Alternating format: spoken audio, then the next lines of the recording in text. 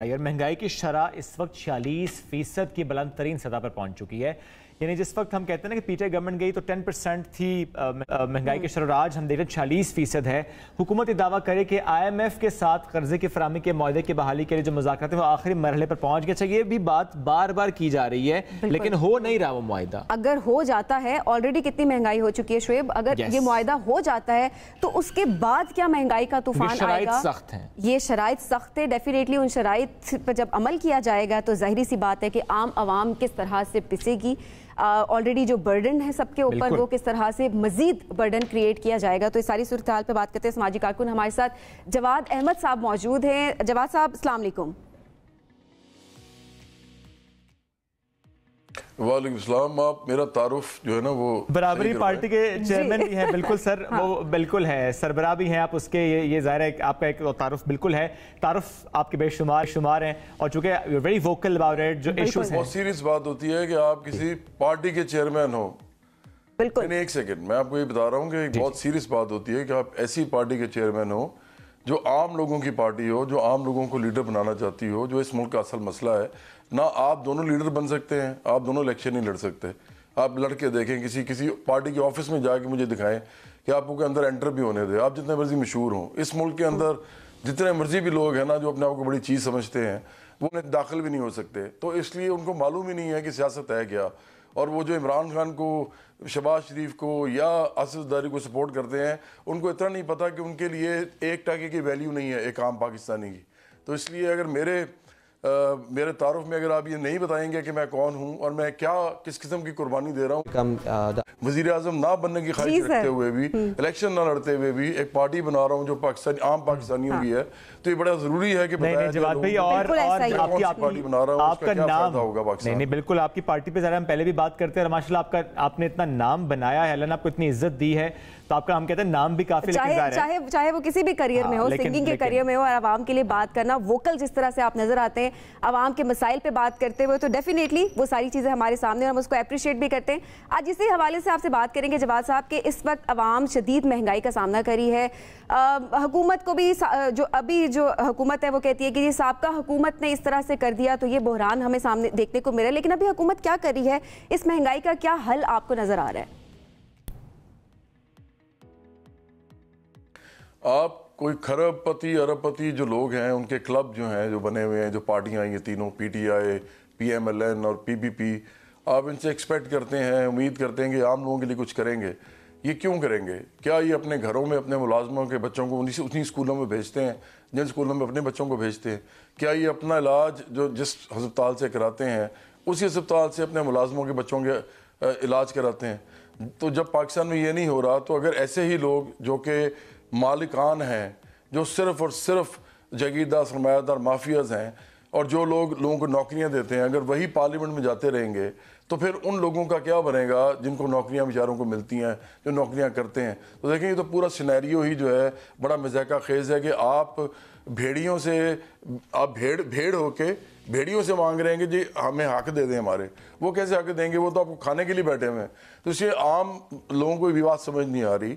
कि जो भी मुल्क एडवांस्ड हैं या डेवलप्ड हैं, उनके अंदर जब तक लेफ़्ट और राइट का कॉन्सेप्ट नहीं है, एक पार्टी एक, हर सूरत में एक कम अज़ कम बड़ी पार्टी मौजूद नहीं है, जो आम लोगों पर मुश्तमिल हो और आम लोगों को लेके जाए पार्लियामेंट के अंदर या जो भी उनके कानून साज अदारे हैं, उस वक्त तक उनकी बात हो ही नहीं सकती उस मुल्क के अंदर, क्योंकि जो भी बात ये आपस में कर रहे होते हैं, ये इनके अपने इंटरेस्ट होते हैं और ये अपने इंटरेस्ट पे ही लड़ रहे होते हैं। भाई इमरान खान का क्या ताल्लुक है एक आम आदमी के साथ? वो आठ कनाल में रहता है लाहौर में और वो तीन सौ कनाल में रहता है बनी गाला में। इस मुल्क में इस वक्त ये हाल है कि लाहौर जैसे शहर में एक आम सा इलाका जो है ना उसमें तीन मरले का मकान अगर किसी ने बनाना हो तो सवा डेढ़ करोड़ का जो है वह प्रोजेक्ट है और वो नहीं होता उसके पास इस मुल्क में पच्चीस हज़ार मिनिमम वेज है। पच्चीस हज़ार मिनिमम वेज का मतलब ये है कि बीस हज़ार भी नहीं मिलती कई दफ़ा, अठारह हज़ार भी नहीं मिलती लोगों को। लोगों के पास एम्प्लॉयमेंट ही नहीं है। तो आप मुझे बताएँ वो मकान कैसे बनाएगा और हमारे जो कुमरान है, एक नवाज़, एक शरीफ ख़ानदान है, वो हज़ारों के नालों में रहता है। एक जदारी ख़ानदान या भुटो ख़ानदान है, वो जागीरदार हैं, उनको पता ही नहीं उनके पास ज़मीनें कितनी हैं। प्रॉब्लम यह है कि इस मुल्क के अंदर आम लोगों को ये समझ ही नहीं आ रही कि ये जो मर्ज़ी ये किसी पार्टी को सपोर्ट कर लें तीनों में से, ये कभी इनके लिए कुछ नहीं करेंगे और ये आपने पिछले सारे दौर में देखा आपने कहा क्यों महँगाई हो रही है हुकूमत क्या कर रही है? मुझे बताएँ इमरान खान के दौर में क्या हुआ था? अभी तो चलो जो, हो रहा है सो हो रहा है वो तुम्हें पता था। इमरान खान ने क्या कर लिया था? उसने तो कहा था कि मैं नब्बे दिन में करप्शन खत्म कर दूँगा। ये कहा था ना उसने? तो आगे कौन सी करप्शन खत्म हुई थी? पाकिस्तान का बल्कि इंडेक्स जो है तो सर, अब- वाले क्या कर रहे हैं? करप्शन के अंदर। और ये हमने नहीं कहा था बैनर गुलामी जी? लेकिन जवाब अब वाले हैं वो क्या कर रहे हैं? इमरान खान की बात तो आपने की ज़ाहिर है अब तो नहीं है वो हुकूमत मैं तो पहले ही कहा उनको तो हाँ। मैंने कहा वो तो कर ही कुछ नहीं सकते। वो तो कर ही नहीं कुछ सकते। अच्छा, ये- ये कैसे तासुर है ये भाई। सारे के सारे एक ये- ये एक- एक मैं तो तासुर- बता रहा हूँ कि लोग उम्मीद ये एक तासुर बना है। जवाब ये एक तासुर सॉरी मैंने हाँ सिर्फ़ सवाल एक करना चाहूँ। एक तासुर बन गए मैं आपको ट्विटर भी देख रहा था कि आपके तीर के सारे निशाने इमरान खान साहब के ऊपर हैं। मौजूदा हुकूमत पे आप तनकीद नहीं करते। अभी हमारे प्रोग्राम में तो आप बात कर रहे हैं लेकिन जनरली हमें तासुर ये मिलता है कि आपको लगता है कि इमरान खान एक इशू था या इशू है? बाकी कोई नहीं है। कसूरवार सिर्फ़ इमरान खान है मौजूदा हालात के। अगर इमरान खान अभी ना हो, फ़र्ज़ करें, इस दुनिया में ना हो, या गायब हो जाए कहीं पे, या वो जया वतन हो जाए, छुप जाए कहीं तो पाकिस्तान का मसला जो है कम अज़ कम ये वाला तो ख़त्म होगा ना।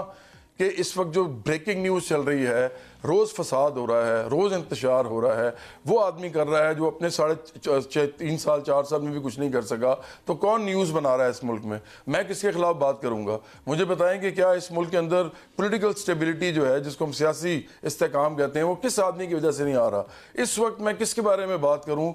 आप किसके बारे में बात कर रहे हैं? चैनल किसके बारे में बात कर रहे हैं? रोज़ किस बात पे इस मुल्क के अंदर मसला पड़ा हुआ है? अभी फवाद चौधरी जो है वो जब भी दिल करे कह देते हैं जी इस मुल्क में सियासी अदम इस्तेकाम जब तक होगा उस वक्त तक मुल्क ठीक नहीं होगा। तो कौन अदम इस्तेकाम पैदा कर रहा है? आप बताते क्यों नहीं है? क्या अदम इस्तेकाम जो है वो वो पार्टी नहीं पैदा करी जिसको उतारा गया है? और इमरान खान ने पहले दिन से झूठ बोलना शुरू किया है पहले दिन से। ये फसाद मचा रहे हैं। इन्होंने कहा नहीं था कि अमरीकी जो है वो इम्पोर्टेड हुकूमत है ये? गुलाम है कोई। ये कौन से नारे थे? अच्छा, ये जवाब को इश्ताल इश्ताल दिलाने वाले नारे थे। अच्छा जवाब साहब आपके नज़दीक आप क्या समझते हैं? ये जो महँगाई है इस वक्त इस वक्त इस वक्त जो मुल्की सूरत हाल है इसका जिम्मेदार कौन है? ये महँगाई किसकी वजह से है? ये सारों की वजह से है। ये अभी तो नहीं हुई। ये शबाज शरीफ वगैरह को तो पता ही कुछ नहीं था। डार आके कहते हैं और जनाब वो खुदा ने इस मुल्क को चलाना है, वो खुदा पे डाल दिया। इमरान खान आके में बता रहे हैं कि ला अल्लाह पढ़ेंगे तो आप ठीक हो जाएँगे। मतलब जो मुस्लिम नून के, पीपल्स पार्टी के बराबरी पार्टी के लोग हैं, जो रोज़ नकवी नमाज़ पढ़ते हैं या ला अल्लाह पढ़ते हैं या या का नाबुद या का पढ़ते हैं, लेकिन उनकी वो ठीक नहीं है, आपकी ठीक है क्योंकि आप पढ़ रहे हैं। ये सब ड्रामेबाजी है, ये सब मज़हब यूज़ कर रहे हैं, सबने महँगाई की मदद साइड डाला है। आपको मालूम है कि इमरान खान ने जाते हुए ये किया था कि उसने पेट्रोल पे सब्सिडी दी थी। इस मुल्क के अंदर वो जब दी थी, उस टाइम पे आईएमएफ ने कहा था कि ये चीज़ ठीक नहीं कर रहे आप। और इसने क्यों दी थी? क्योंकि इलेक्शन आने वाले थे। अब उसके बाद क्या हुआ? ये भी होता तो ये होता, जो हो रहा है इस वक्त। और ये चलता रहेगा चलता रहेगा। जब तक आम लोग इस मुल्क में हुकूमत नहीं करेंगे ये ऐसे ही चलता रहेगा। जब आम लोग आएँगे ना सबसे पहले वो लैंड रिफॉर्म्स करेंगे। अब लैंड रिफॉर्म्स का मतलब ही बड़ा खौफनाक है। इंडिया ने जैसे इंडिया आज़ाद हुआ था ना इंडिया जब 1947 में उन्होंने लैंड रिफॉर्म्स कर दिए थे आते ही। पाकिस्तान ने नहीं किए। पाकिस्तान ने अपने जगीरदार सरमायादार इनको अपने सर पे बिठा के रखे आज तक पोलिटिकल अरीना में। तो इस मुल्क के अंदर ये कौन करेगा? ये आम लोग करेंगे। तो आम आम आम लोगों की पार्टी बराबरी पार्टी तैयार है इंतबात के लिए सर? आम आदमी की पार्टी बराबरी पार्टी? यार हम तो अक्टूबर के लिए तैयार हैं। भाई ठीक है अक्टूबर के लिए तैयार हैं। है बहुत शुक्रिया चेयरमैन बराबरी पार्टी जब सब साथ मौजूद से गुफ्तु कर रहे थे नाजरीन?